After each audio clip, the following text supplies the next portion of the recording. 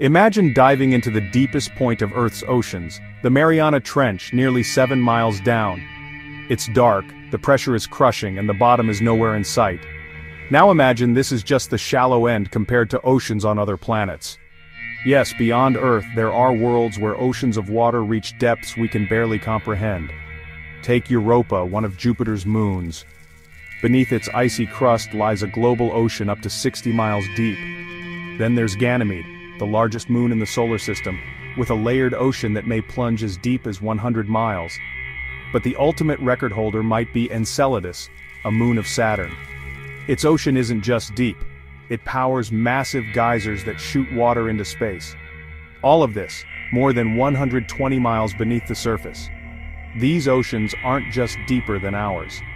They might be hiding something that could change everything we know about life in the universe. Maybe in those dark alien waters something is already swimming,